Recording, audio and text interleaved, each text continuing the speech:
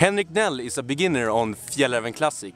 He's doing this the first time. Uh, why have you choose to go uh, on a trek like Fjällräven Classic?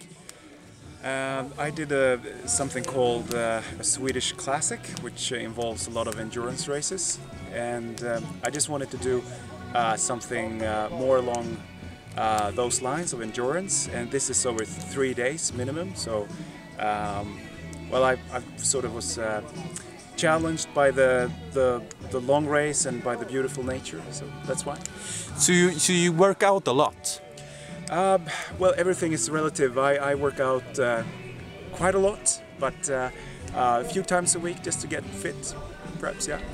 Uh, do you have any uh, previous experience from uh, mountain hiking? no, none whatsoever. So this was the first and only. so what's your expectations for Fjällräven Classic?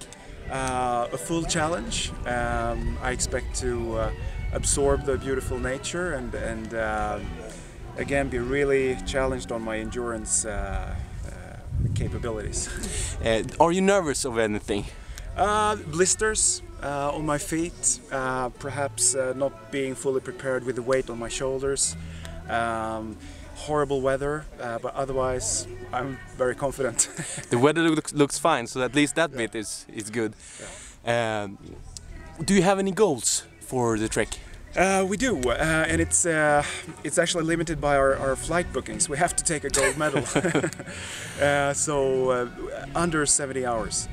Okay, uh, good luck, Henrik, with the gold medal and the flight Thank back home. Thank you. Thank you. Bye bye. Bye bye.